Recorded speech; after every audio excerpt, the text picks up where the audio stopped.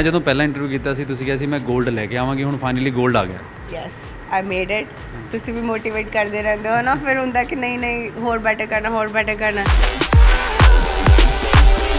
Every day every day every single day ਤੁਹਾਨੂੰ ਮਤਲਬ focus ਰਹਿੰਦਾ ਕਿ ਬਸ ਤੁਹਾਡੀ ਇੱਕੋ ਹੀ, ਮਤਲਬ ਇੱਕ ਗੋਲ ਹੈ ਨਾ, ਫਿਰ ਤੁਸੀਂ ਫੋਕਸ ਰਹਿੰਦੇ ਹੋ ਹਾਂ।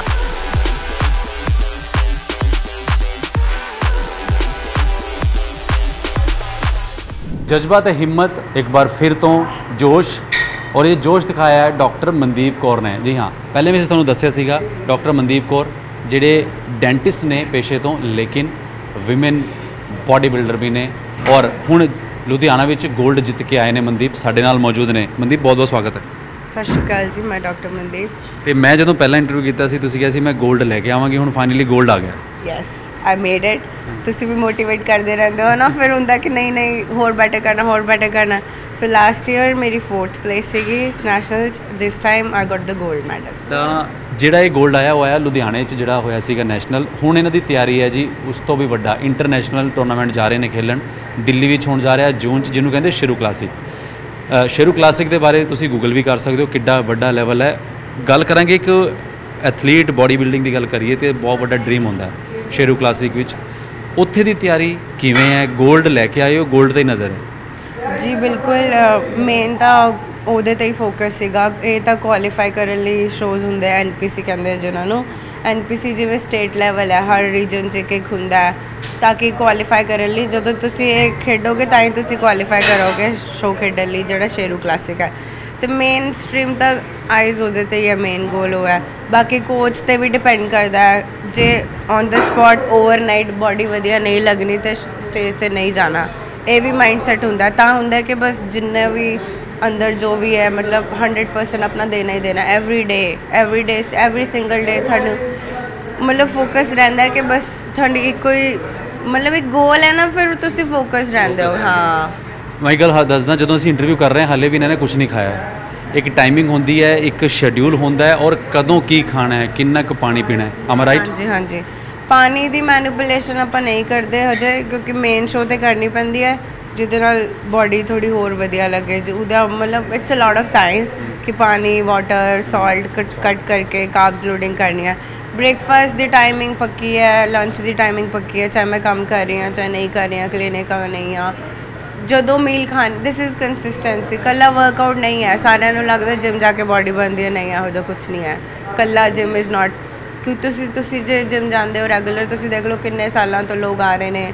ਸੇਮ ਸਟਰਕਚਰ ਹੈ ਸੇਮ ਬਾਡੀ ਕਿਉਂ? ਕਿਉਂਕਿ ਡਾਈਟ ਨਹੀਂ ਕਰ ਰਹੇ। ਡਾਈਟ ਇਜ਼ ਮੇਨ ਕੀ ਤੁਸੀਂ ਮੈਂ ਰੋਕਾਂਗਾ। ਸਵੇਰ ਤੋਂ ਲੈ ਕੇ ਰਾਤ ਤੱਕ ਦੀ ਡਾਈਟ ਕੀ ਹੈ? ਕਿਵੇਂ ਕੀ ਕਰਦੇ ਹੋ? ਜਾਂ ਨਾਰਮਲ ਡਾਈਟ ਤੋਂ ਅਲੱਗ ਡਾਈਟ ਹੁੰਦੀ ਹੈ ਜਦੋਂ ਟੂਰਨਾਮੈਂਟ ਪਾਰਟਿਸਿਪੇਟ ਕਰਨਾ ਹੁੰਦਾ ਹੈ ਡੇਢ ਦੋ ਮਹੀਨੇ ਪਹਿਲਾਂ?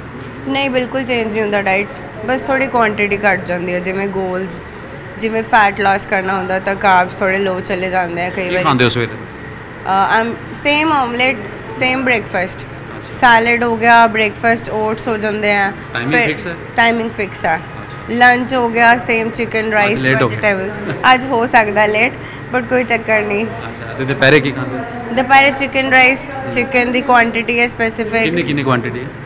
ਲਾਈਕ 100 150 ਗ੍ਰਾਮ ਚਿਕਨ ਹੋ ਗਿਆ ਰॉ ਫਿਰ ਉਹ ਦੋ ਦੋ ਤਿੰਨ ਵਾਰੀ ਦਿਨ ਚ ਹੋ ਗਿਆ ਫਿਰ ਐਗਸ ਹੋ ਗਏ ਸਵੇਰੇ 6 7 ਐਗਸ ਸ਼ਾਮ ਨੂੰ 6 ਐਗਸ ਦੋ ਸਕੂਪ ਪ੍ਰੋਟੀਨ ਦੇ ਕਿਉਂਕਿ ਕਈ ਵਾਰੀ ਤੁਹਾਡਾ ਚੱਬਣ ਦਾ ਵੀ ਜੀ ਨਹੀਂ ਕਰਦਾ ਫਿਰ ਤੁਸੀਂ ਹੁੰਦਾ ਕਿ ਚਲ ਪ੍ਰੋਟੀਨ ਸ਼ੇਕ ਤਾਂ ਹੈਗਾ ਹੀ ਉਦੋਂ ਸਭ ਤੋਂ ਸਵਾਦ ਚੀਜ਼ ਤੁਹਾਨੂੰ ਪ੍ਰੋਟੀਨ ਹੀ ਲੱਗਦੀ ਤੁਸੀਂ ਮਿੱਠਾ ਨਹੀਂ ਖਾ ਸਕਦੇ ਤਾਂ ਕਰਕੇ ਬਾਕੀ ਉਸ ਤੋਂ ਇਲਾਵਾ ਮਾਈਕਰੋ ਨਿਊਟ੍ਰੀਐਂਟਸ ਹੁੰਦੇ ਆ ਜਿਹਨਾਂ ਨੂੰ ਸਪਲੀਮੈਂਟਸ ਕਹਿੰਦੇ ਆ multi vitamin fish oil vitamin E vitamin C all the A to Z vitamins basically. ਕਿਹੜੀ ਚੀਜ਼ ਹੈ ਜਿਹੜੀ ਕਾਫੀ ਟਾਈਮ ਤੋਂ ਨਹੀਂ ਖਾਈ ਮਿੱਠੇ ਤੋਂ ਇਲਾਵਾ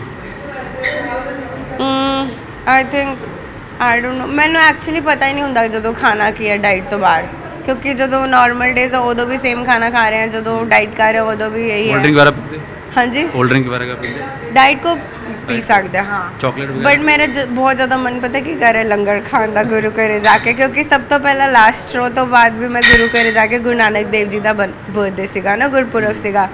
ਸੋ that was the day ਜਦੋਂ ਮੈਂ ਲੰਗਰ ਕੀਤਾ ਐਂਡ ਉਸ ਤੋਂ ਸਵਾਦ ਚੀਜ਼ ਦੁਨੀਆ 'ਚ ਕੋਈ ਹੈ ਹੀ ਨਹੀਂ। ਅੱਛਾ ਚਾਕਲੇਟ ਵਗੈਰਾ ਖਾਂਦੇ? ਚਾਕਲੇਟ ਅਲਾਉ ਹੁੰਦੀ ਹੈ ਵਿੱਚ ਵਿੱਚ। ਜਦੋਂ ਆਪਾਂ ਪੀਰੀਅਡਸ ਫੇਸ ਕਰਦੀਆਂ ਕੁੜੀਆਂ ਹਾਂ। ਤੇ ਉਦੋਂ ਇੱਕ ਸਪੈਸੀਫਿਕ ਡਾਈਟ ਚੇਂਜਸ ਆਉਂਦੇ ਆ ਤੇ ਉਦੋਂ ਮੇਰਾ ਕੋਚ ਜਾਂ ਫਿਰ ਮੈਂ ਵੀ ਚਾਕਲੇਟ ਐਡ ਕਰਦੀ ਹਾਂ ਆਪਣੇ ਕਲਾਇੰਟਸ ਦੇ ਜਾਂ ਮੇਰੀ ਡਾਈਟ 'ਚ ਵੀ ਚਾਕਲੇਟਸ ਰਹਿੰਦੀਆਂ ਅੱਛਾ ਇੱਕ ਸਪੈਸੀਫਿਕ ਸਵਾਲ ਹੈ ਪੀਰੀਅਡਸ ਦੀ ਗੱਲ ਕੀਤੀ ਹੈ ਕਿ। ਵੀ ਇਹ ਫੀਮੇਲ ਇੱਕ ਵੱਡਾ ਇੱਕ ਲੋਕੀ ਖੁੱਲ ਕੇ ਵੀ ਹਾਲਾਂਕਿ ਗੱਲ ਕਰਦੇ ਕਰਦੇ। ਲੇਕਿਨ ਸਪੋਰਟਸ ਪਰਸਨ ਹੋਣ ਦੇ ਨਾਤੇ ਜਦੋਂ ਪੀਰੀਅਡਸ ਆਉਂਦੇ ਨੇ ਤਾਂ ਕਿਵੇਂ ਦਾ ਰਹਿੰਦਾ ਕਿ ਕੰਪੀਟੀਸ਼ਨ ਚੱਲ ਰਿਹਾ ਔਰ ਪੀਰੀਅਡਸ ਆ ਗਏ ਬਹੁਤ ਮੈਨੇਜ ਕਰਨਾ ਹੁੰਦਾ ਹੈ? ਹਾਂ ਇਦਾਂ ਦਾ ਇੱਕ ਤੋਂ ਸਭ ਤੋਂ ਪਹਿਲਾਂ ਮਤਲਬ ਮੈਂ ਪਰਸਨਲੀ ਕੀ ਫੇਸ ਕਰਦੀ ਹਾਂ ਉਹ ਮੈਂ ਦੱਸ ਸਕਦੀ ਹਾਂ I don't know about other females because calories low ਹੋਣ ਦੇ ਕਾਰਨ ਨਾ suddenly BP low sugar low ਚੱਕਰ ਆਉਂਦਾ ਆ, ਇੱਕਦਮ ਆਉਂਦਾ ਤੁਹਾਨੂੰ ਪੂਰੀ ਬਾਡੀ ਸਵੈਟ ਕਰਦੀ ਇੱਕਦਮ ਹੈ ਨਾ। ਤੇ ਉਦੋਂ ਵੀ need to go eat something ਬਹੁਤ ਜ਼ਿਆਦਾ। ਮਤਲਬ ਥੋੜਾ ਆਪਣੀ ਡਾਈਟ ਇੱਕ ਮੀਲ ਐਕਸਟਰਾ ਕਰ ਲਓ। ਥੋੜੇ ਜਿਹੇ ਕਾਰਬਸ ਵਧਾ ਲਓ। ਚਾਕਲੇਟ ਜਿਵੇਂ ਕਿਆ ਮਿੱਠਾ ਖਾ ਲਓ ਥੋੜਾ ਜਿਹਾ। ਤੇ ਉਹਦੇ ਨਾਲ ਕੀ ਹੈ? ਥੋੜਾ ਸਹੀ ਹੋ ਜਾਂਦਾ। ਇਵਨ ਨਾਰਮਲ ਫੀਮੇਲਸ ਨੂੰ ਵੀ ਇਦਾਂ ਹੀ ਕਰਨਾ ਚਾਹੀਦਾ। ਪੀਰੀਅਡਸ ਤੋਂ 10 ਦਿਨ ਪਹਿਲਾਂ ਆਲਮੋਸਟ ਤੁਹਾਨੂੰ ਬਹੁਤ ਜ਼ਿਆਦਾ ਭੁੱਖ ਲੱਗਣ ਲੱਗ ਜਾਂਦੀ ਹੈ। ਤੇ ਚਿੜਚਿੜਾਪਨ ਵੀ ਤਾਂ ਹੀ ਹੁੰਦਾ ਕਿਉਂਕਿ ਭੁੱਖ ਬਹੁਤ ਜ਼ਿਆਦਾ ਲੱਗ ਰਹੀ ਹੁੰਦੀ ਹੈ। ਬਾਡੀ ਨੂੰ એનર્ਜੀ ਚਾਹੀਦੀ ਹੈ ਤੇ ਆਪਾਂ ਖਾਂਦੇ ਹੀ ਨਹੀਂ ਉਹਨਾਂ ਕੁਝ ਤੇ ਉਹਦੇ ਨਾਲ ਕੀ ਹੈ ਕਿ ਰਿਕਵਰੀ ਹੋ ਜਾਂਦੀ ਹੈ ਜਦੋਂ ਆਪਾਂ ਥੋੜਾ ਜਿਹਾ ਵਧੀਆ ਚੀਜ਼ ਆਪਣੇ ਆਪ ਨੂੰ ਦੇ ਰਹੇ ਹਾਂ ਖਾਣ ਲਈ। ਤੇ ਐਦਾਂ ਹੀ ਸ਼ੋਅ ਦੇ ਟਾਈਮ ਹੁੰਦਾ ਹੈ ਕਿ ਸਡਨਲੀ ਵੀਕ ਪਹਿਲਾਂ ਹੀ ਤੁਸੀਂ ਵੀਕ ਹੁੰਦੇ ਹੋ, ਪਾਣੀ ਜਿਵੇਂ off stage like on stage ਲਈ ਬੰਦ ਕਰ ਦਿਓ। ਤੇ ਫਿਰ ਉਹ ਚੀਜ਼ ਤੁਹਾਨੂੰ ਖਾਣੀ ਪੈਂਦੀ ਹੈ। ਐਂਡ ਇਦਾਂ ਟਾਈਮ ਹੋਇਆ ਕਿ ਪੀਰੀਅਡਸ ਆ ਕੇ ਕੰਪੀਟੀਸ਼ਨ ਨਾਲ ਨਾਲ ਹੈ? ਹਾਂ ਇੱਕ ਵਾਰੀ ਹੋ ਚੁੱਕਿਆ ਬਟ ਉਦੋਂ ਮੈਂ ਆ ਰਹੀ ਸੀ ਵਾਪਸ ਸਟੇਟ ਤੋਂ। ਤੇ ਵਧੀਆ ਹੀ ਸੀਗਾ ਕਿ ਹੁਣ ਤਾਂ ਸਭ ਕੁਝ ਖਾ ਸਕਦੇ ਆ ਤਾਂ ਇਹੋ ਜਿਹਾ ਹੋਇਆ ਨਹੀਂ ਬਟ ਮੈਨੂੰ ਇਸ ਵਾਰੀ ਡਰ ਲੱਗ ਰਿਹਾ ਯਾਰ ਇੱਕ ਹੁੰਦਾ ਹੈ ਨਾ ਕਿ ਸਾਈਕੋਲੋਜੀਕਲ ਡਾਊਨ ਹੋਣਾ। ਸਾਈਕੋਲੋਜੀਕਲ ਵੀ ਹੁੰਦਾ ਹੈ ਕਿਉਂਕਿ ਬਾਡੀ ਇੰਨੇ ਜ਼ਿਆਦਾ ਅੰਡਰ ਪ੍ਰੈਸ਼ਰ ਹੈ ਅੰਦਰ ਅੰਡਰ ਸਟ੍ਰੈਸ ਹੈ ਉਹ ਚੇਂਜ ਹੋ ਜਾਂਦੀ ਹੈ। ਕਈ ਵਾਰੀ ਫੈਟ ਲਾਸ ਦੇ ਚੱਕਰ 'ਚ ਮਿਸ ਵੀ ਕਰ ਦਿੰਦੇ ਆ ਲੋਕ। ਟੱਚ ਮੇਰਾ ਕਦੀ ਹੋਇਆ ਨਹੀਂ ਅੱਜ ਤੱਕ। ਬਿਕਾਜ਼ ਮੇਰੇ ਆਪਣੇ ਕੋਚ ਨਾਲ ਇਹ ਸਟ੍ਰੇਟ ਫਾਰਵਰਡ ਗੱਲ ਕਦੇ ਵੀ ਹੈਜ਼ਿਟੇਟ ਨਾ ਕਰੋ ਆਪਣੇ ਕੋਚ ਨੂੰ, ਕਿਸੇ ਵੀ ਗੱਲ ਲਈ ਬਿਕਾਜ਼ ਤੁਸੀਂ ਆਪਣੀ ਲਾਈਫ ਥੋੜੀ ਖਰਾਬ ਕਰਨੀ ਹੈ ਪਹਿਲਾਂ ਉਹਨੂੰ ਪੁੱਛੋ ਕਿ ਕੀ ਕਰਨਾ ਆਪਾਂ, ਕਿਵੇਂ ਡਾਈਟ ਕਰਨੀ ਹੈ ਸਭ ਕੁਝ ਤੁਹਾਡੀ ਹੈਲਥ ਇਜ਼ ਮੇਨ ਕੀ ਮੈਂ ਇੰਨਾ ਟਾਈਮ ਜ਼ਿਆਦਾ ਤਾਂ ਲਿਆ ਇੱਥੇ ਤੱਕ ਪਹੁੰਚਣ ਨੂੰ, ਮੈਨੂੰ ਇੰਨੇ ਸਾਲ ਹੋ ਗਏ ਜਿਮ ਜਾਂਦੇ। ਕਿਉਂਕਿ ਮੈਨੂੰ ਸੀਗਾ, ਮੈਂ ਕੋਈ ਚੀਜ਼ ਇਹੋ ਜਿਹੀ ਯੂਜ਼ ਨਹੀਂ ਕਰਨਾ ਚਾਹੁੰਦੀ ਜਿਹੜੀ ਮੇਰੀ ਬਾਡੀ ਨੂੰ ਨੁਕਸਾਨ ਕਰੇ। ਕੋਈ ਚੀਜ਼ ਅਬਿਊਜ਼ ਨਹੀਂ ਕਰਨਾ ਚਾਹੁੰਦੀ, ਕੋਈ ਚੀਜ਼ ਯੂਜ਼ ਨਹੀਂ ਕਰਨਾ ਚਾਹੁੰਦੀ, ਜਿ- ਜਿਵੇਂ ਕਈ ਇੰਨੇ ਜ਼ਿਆਦਾ ਐਕਸਪੀਰੀਅੰਸ ਕੋਚਿਸ ਨਹੀਂ ਹੈ ਫੀਮੇਲ ਨੂੰ ਇਹੋ ਜਿਹੀਆਂ ਚੀਜ਼ਾਂ ਦੱਸ ਦਿੰਦੇ ਆ ਫਿਰ ਉਹਨਾਂ ਨੂੰ ਬਹੁਤ ਪ੍ਰੋਬਲਮ ਆਉਂਦੀ ਹੈ।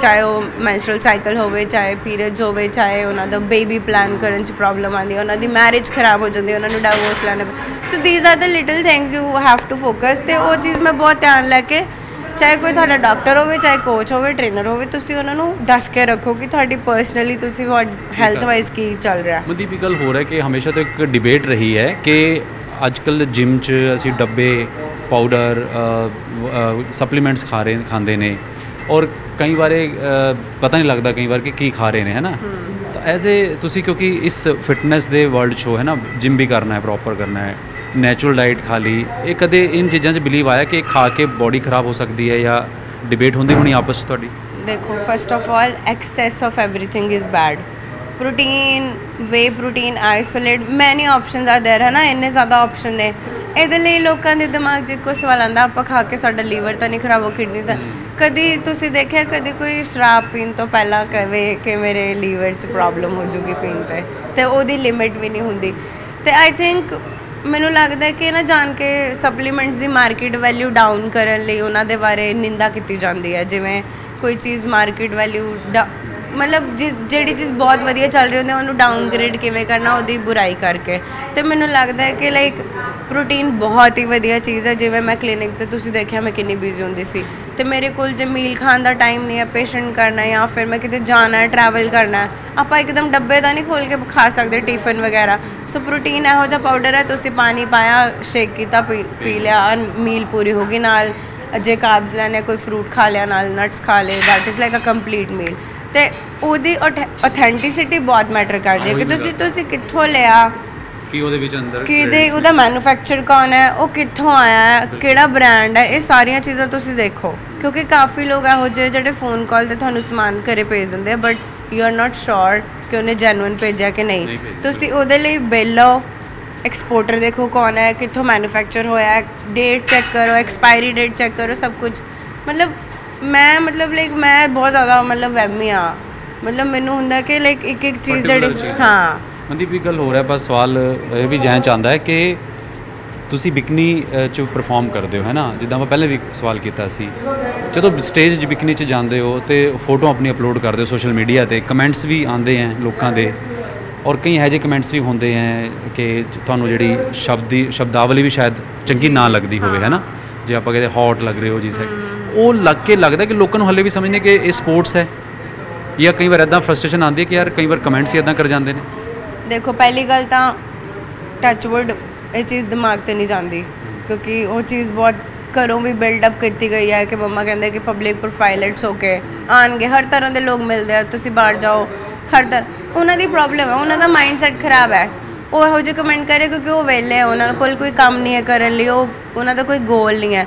ਦੂਸਰੀ ਗੱਲ ਬਾਈ ਗੋਡ ਗ੍ਰੇਸ ਇੰਨੇ ਸਾਲਾਂ 'ਚ ਇੰਨੀ ਇੰਪਰੂਵਮੈਂਟ ਹੋਈ ਹੈ ਨਾ ਸੋਸ਼ਲ ਮੀਡੀਆ ਤੇ people are so into this ਇੰਨੀ ਮੋਟੀਵੇਸ਼ਨ ਦਿੰਦੇ ਆ, ਕੋਈ 네ਗੇਟਿਵਿਟੀ ਨਹੀਂ ਹੈ ਇੰਨੀ ਜ਼ਿਆਦਾ ਜਿੰਨੀ ਪਹਿਲਾਂ ਹੁੰਦੀ ਸੀ, ਕਿਉਂਕਿ ਪਹਿਲਾਂ ਲੋਕਾਂ ਨੂੰ ਇੰਨੀ ਅਵੇਅਰਨੈਸ ਨਹੀਂ ਸੀ।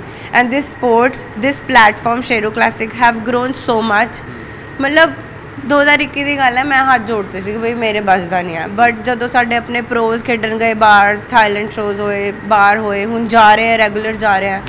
ਮਤਲਬ ਹੁਣ ਇਦਾਂ ਲੱਗ ਰਿਹਾ ਕਿ ਨਹੀਂ ਯਾਰ ਇਹ ਚੀਜ਼ ਤਾਂ ਬਹੁਤ ਜ਼ਿਆਦਾ ਗਰੋ ਕਰ ਰਹੀ ਹੈ ਕਿ ਸਾਡੇ ਤੋਂ ਬਾਅਦ ਹੋਰ ਲੋਕ ਆਣਗੇ ਠੀਕ ਹੈ? ਵੀ ਵਰ ਦਾ ਫਰਸਟ ਜਨਰੇਸ਼ਨ ਬਟ ਸਾਡੇ ਤੋਂ ਬਾਅਦ ਮੈਂ ਕਹਿ ਰਹੀ ਹਾਂ ਕਿ ਐਨੀ ਖੁੱਲ ਹੋ ਜਾਏਗੀ ਕਿ ਕੁੜੀਆਂ ਨੂੰ ਫ੍ਰੀडम ਮਿਲੇਗੀ ਇੰਸਪਾਇਰ ਤਾਂ ਹੋ ਸਕਦੇ ਨੇ। ਹਾਂ ਇਨਸਪੀਰੇਸ਼ਨ ਤਾਂ ਚਲੋ ਠੀਕ ਹੈ ਹਜੇ ਵੀ ਕਈ ਫੈਮਲੀਆਂ ਕਈ ਇਲਾਕੇ ਇਹੋ ਜਿਹੇ ਜਿੱਥੇ ਕੁੜੀਆਂ ਨੂੰ ਜਿਮ ਜਾਣਾ ਨਹੀਂ ਅਲਾਉਡ ਕਿੰਨੀ ਵੱਡੀ ਗੱਲ ਹੈ। ਸ਼ਾਰਟ ਡਰੈਸ ਪਾ ਕੇ ਵੀ ਕਈ ਵਾਰ ਅਲਾਉ ਸ਼ਾਰਟ ਡਰੈਸ ਤਾਂ ਦੂਰ ਦੀ ਗੱਲ ਹੈ ਮਤਲਬ ਪੂਰੇ ਕੱਪੜੇ ਪਾ ਕੇ ਵੀ ਜਿਮ ਜਾਣਾ ਅਲਾਉਡ ਨਹੀਂ ਕਰਦੇ ਕਿ ਨਹੀਂ ਜਾਣਾ ਕਿਉਂਕਿ ਸੋਚ ਨਹੀਂ ਹੈ ਹਜੇ ਉੱਥੇ ਤੱਕ ਪਹੁੰਚੀ।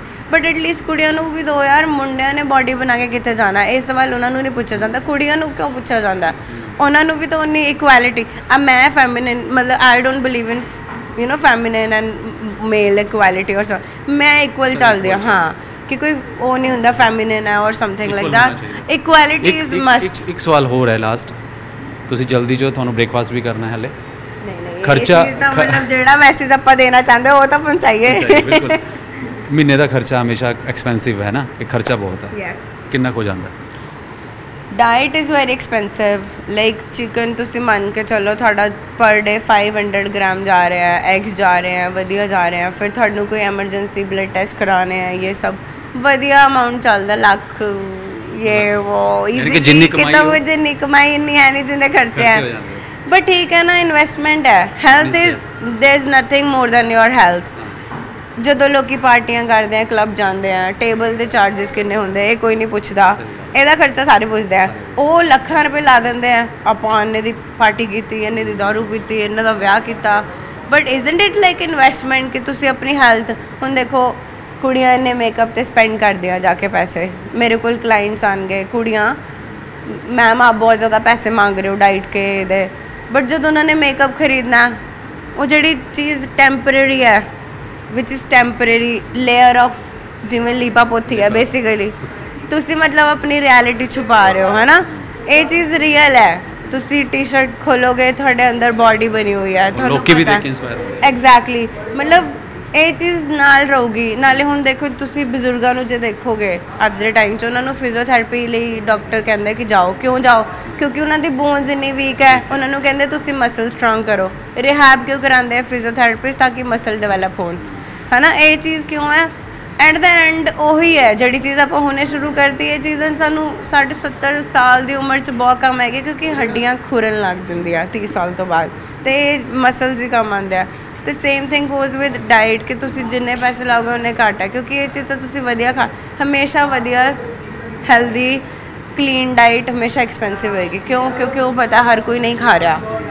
ਨਾਲੇ ਜਿਹੜੀਆਂ ਗੰਦੀਆਂ ਚੀਜ਼ਾਂ ਹੋਣਗੀਆਂ ਸਸਤੀਆਂ ਵੇਚਣਗੀਆਂ ਗੋਲ ਗੱਪੇ ਦੇਖ ਲਓ ਕਿੰਨੇ ਸਸਤੇ ਮਿਲਦੇ ਆ ਕਿਤੇ ਵੀ ਮਿਲ ਜਾਣਗੇ। ਪ੍ਰੋਟੀਨ ਤੁਹਾਨੂੰ ਜੈਨੂਇਨ ਪ੍ਰੋਟੀਨ ਲੱਭਣ ਲਈ ਨਾ ਤੁਹਾਨੂੰ ਧਰਤੀ ਛਾਣਨੀ ਪਏਗੀ ਪੂਰੀ ਕਿ ਯਾਰ origignal ਕਿਹਦੇ ਕੋਲ ਹੈ ਸਵਾਦ ਕਿਹਦੇ ਕੋਲ ਹੈ। 11 11000 ਦੇ ਪ੍ਰੋਟੀਨ ਦੇ ਡੱਬੇ ਹੈ।